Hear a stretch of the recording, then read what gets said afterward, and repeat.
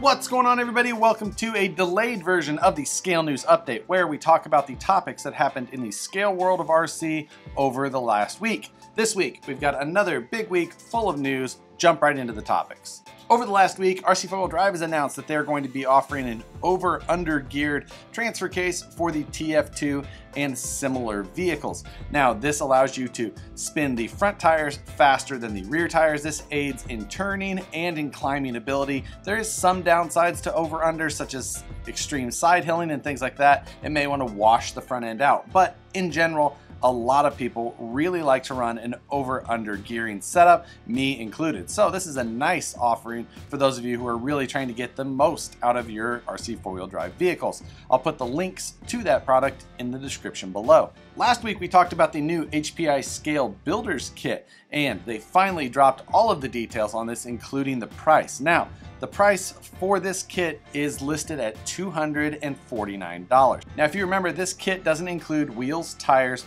or a body, or of course, all of the electronics, which you wouldn't normally expect to see in a kit anyway. But seeing that come in at $249, even with some of the upgrades that it does come with, such as aluminum links and front CVD axles, it's still a little bit high, I feel. It's just not quite there. It seems like that kit should really try and land somewhere in that $199 range, but we'll see what the market thinks and if that $249 along with this new concept of a scale builder's kit is enough to entice people to start picking up that HPI Venture. So far, the Venture has just not caught on as much in the market with sales, partially because of price, partially because of you know parts availability kind of being a little bit up in the air and the aftermarket not jumping on it as much either. Maybe the scale builder's kit will pick up a little bit more steam than the ready to run version, but Time will tell. It doesn't look like we'll actually expect to see that kit until early 2019 at this point at the very least, but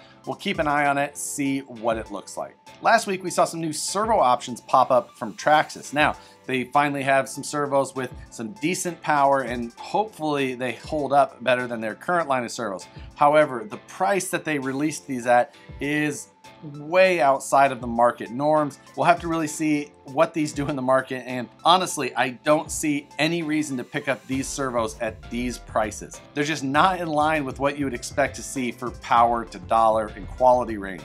They look like rebranded servos that we've seen for a really long time through various other names for a fraction of these prices. Maybe they're not the exact same servos, but they look really close. And something that a lot of people don't know is that there's not a lot of servo manufacturers. There's a very small handful of factories that actually produce most of the servos that you see in the industry.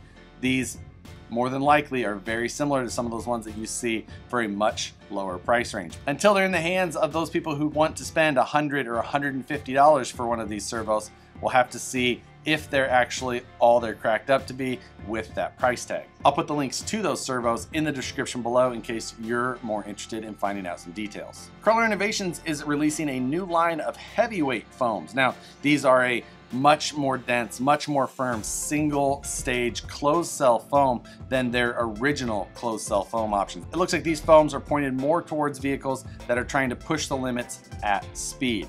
Probably could have used these on the monthly Mayhem drag bolt, but they weren't out until just now. So if you guys are needing a foam for your applications that are, you know, higher speed or heavier trucks, things like that, these foams might be for you. I'll put the link to the Crawler Innovations website in the description below. You can find out all of the details listed from Crawler Innovations. Horizon announced that they're going to be offering the Rock Rey and the Baja Rey in a bind and drive option. These vehicles will come ready to hook up to a Spektrum radio if you've already got one, and looks like they come in some new color options thinking the orange looks pretty good. So if you're already a Spektrum user and you're looking for one of these vehicles, maybe one of these will be the version for you. This week we see a new release from FTX called the Fury. Now th this is a fairly inexpensive but still up there ready to run crawler. FTX produces some lower price options. However, this is one of the first ones that I've seen from them that actually has a smaller or more scale sized ring and pinion gear. The body on it is a Jeep style with an angry eyes looking grill, but overall looks pretty cartoonish with,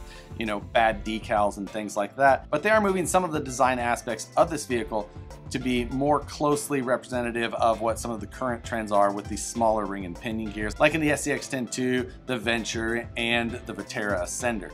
It does come with metal links. It's a brushed system in there. It does come with LEDs in the bumper, not the body. Overall, it doesn't look like anything too exciting and it's from a brand that you know isn't going to be quite as well supported. So for the money, not something I would probably jump on quickly, but it is interesting to see some of the paths that these lower cost brands are starting to take. I'll put a link to the vehicle in the description below so you can check out a little bit more about it. So that's going to do it for the news topics for this week. Let's round out the week though with a few question and answers. We'll start with the post that I put on Instagram. First question says, how much one-to-one -one experience did you have prior to becoming involved in the 1/10 scale RC crawling industry? My experience actually went the other way. I did the scale rock crawling side and then I actually got involved a little bit with more of the full size and the competing side in full size spotting in one-to-one comp crawling is a lot like driving an RC car. You know, you're standing away, you're looking at better vantage points, you tell the vehicle what to do, and then hopefully it works out like you planned. Next question says, it kind of bothers me to see a Jeep Cherokee the same dimensions of a full-size pickup truck.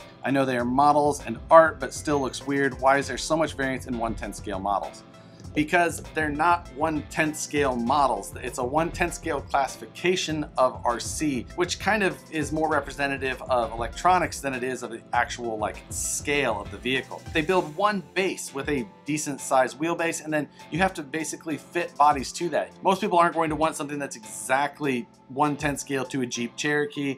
You know, they want a base that they can build whatever they want off of. Because a lot of people are going to take that Cherokee body off and put something that actually has frame rails on top of it. So it's just a matter of making a base that's usable for whatever the end user wants to build. I get the argument, but in reality, you have to look at the big picture and how these things really work. This one says, do a custom rat rod project for Monthly Mayhem. Speaking of Monthly Mayhem, now that it's over, we had asked for a bunch of recommendations on what to do for the next Monthly Mayhem. And people had all kinds of ideas, but they forget that you have to come up with an idea that you can do a challenge with that both of us can do from a distance that can be measured, not just like build the best scale truck. Like you can't measure that.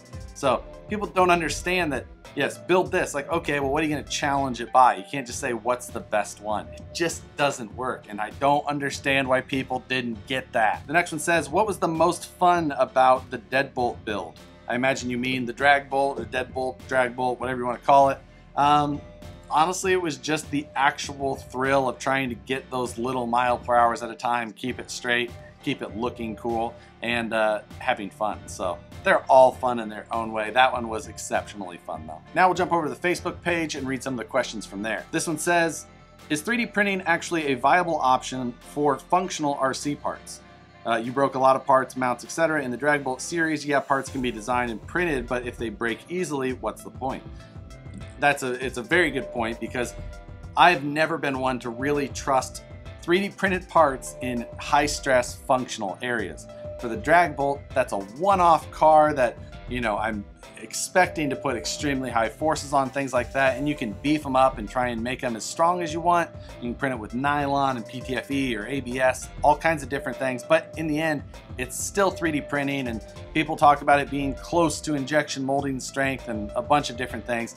In reality, 3D printing high strength or functional parts, I'm really weary about and I don't necessarily find it to be the best practice. So you can do it, you can use it, but in the end, there's better materials a lot of times. Some are just not as easy to make happen as others. This one says, if Axial brings back the XR10, will Vanquish start making upgrades? This is probably referring to the post that was on the Axial social media page saying, you know, something about bringing back the XR10. And it was, I'm almost positive, just one of those posts, just talking, making something up to talk about to bring back engagement. I would put a stack of money on the table saying that Axial is not going to be bringing back the XR10 anytime soon. Next question says, seriously considering the new G-Made bomb for my next trail truck, have you had one in your hands yet? And would you recommend it or should I be looking elsewhere? I have had a bomb in my hands. I haven't built one myself. Overall, it doesn't look that bad. The only problems that I've heard so far is the transfer case wanting to kind of separate and let gears skip I don't know yet. I probably need to get one in my hands before I really form an, you know, a strong opinion on it. But so far, it looks like their best one yet. It's not saying a lot from Gmade, but it does look like their best one. The last one for Facebook says, have you personally done any FPV racing with ground vehicles? I haven't done any head-to-head -head racing with FPV ground vehicles. I have put FPV systems in ground vehicles and driven them around. It was a lot of fun, specifically a Dancing Rider, but beyond that, I haven't done any actual racing. And the very last set of questions will be off the YouTube community page. First question says, what's the cost involved in the Dragbolt series? Cost and, you know, there was a lot of value of parts used. I am super lucky to know a lot of people in the industry and they understand that Matt and I are both providing a content that puts their name out there, so we are able to get parts at a much lower or nothing cost on some things. So, you know, in the end, the cost was my time and a lot of work. So I don't know what my actual out-of-pocket costs were. If I wanted to add up retail, I, I'd probably rather not actually do the math on that. This question says, what is the music you used in the Axial Fest videos for this year? I get all of my music off epidemicsound.com. It's a subscription thing. You pay about 20 bucks a month. You get a ton of music options. You can download whatever you want from there. All of the music I use, I get through that subscription. Next question says, the short course drag cars are getting really big. Do you think you and Matt could do a monthly mayhem to see who can do 132 feet in the quickest time? I do like that idea. I don't know about monthly mayhem, but I want to build a uh, drag car anyway, just myself, just for fun. I want, I really want to use that J Concepts Fox body Mustang body and those new uh, wheels and tires that J Concepts came out with as well. So I want to build one maybe here in the next couple of months myself. This question says, is there an interior for the TRX4 Bronco? Actually, I touched on an option for that last week with Knights Customs, where they're going to be doing a print your own base and then be offering a bunch of different options as well. Looks like a really cool way to be able to get an interior into something like your TRX4 Bronco for a much lower cost definitely go back to last week's video, check that out think that you'll find something you might like. And I think with that one, guys, that's gonna do it. I appreciate you guys dealing with the delay in this week's video. As always, I hope you guys have an awesome rest of your week and look forward to the Scale News update coming back on schedule next Monday. Thanks for watching, guys. Like the video if you enjoyed it. Subscribe if you're not already. Drop a comment with your feelings on any of the stories we talked about, and we'll see you on the next one.